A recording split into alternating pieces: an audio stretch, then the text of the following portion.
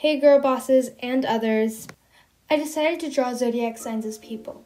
And this first one is Gemini. Geminis are born in part of May, but mostly June.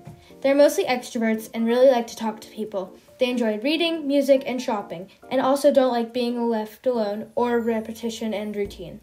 They're gentle, affectionate, curious, adaptable, quick to learn, and able to exchange ideas well. They are also nervous, indecisive, and inconsistent. When I did my research, I found that the zodiac signs have colors, and Gemini's colors are green and yellow. Also, if you didn't know, I'm a Gemini. I want to make her the popular girl. I gave her fashionable clothing and dyed hair and a phone in hand to show off her popularity. And there we have it, my Gemini inspired girl.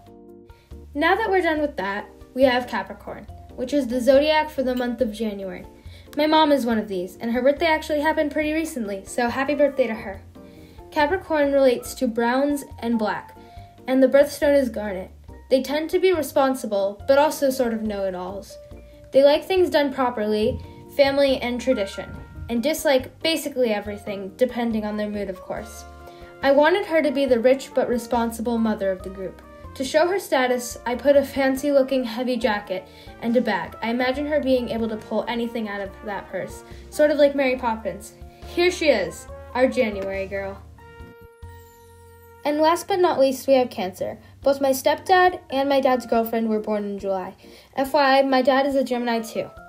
I actually messed up the months and did Leo because I thought that that was the July zodiac sign, even though I literally know no one who was born then. But I have to do them all eventually, so it's fine. Cancers are very imaginative, loyal, empathetic, sympathetic, but also moody, pessimistic, suspicious, manipulative, and insecure. They like art, hobbies you can do at home, lunch with friends, and relaxing by the water, which I thought was funny. On the other hand, they do not like any criticism of their mother and revealing of their personal life. The only color was white, so I was originally not going to color her at all, but I used light colors instead. She's artistic, but in the clouds of the group. And because of the water thing, she's wearing a bathing suit. Hope you like her. Thank you so much for watching all of this video. I hope you enjoyed it. Here are the finished pieces together. I, of course, have a lot of friends born in these months too. I just didn't have time to say. Hope to see you next time, and please like and subscribe. Bye!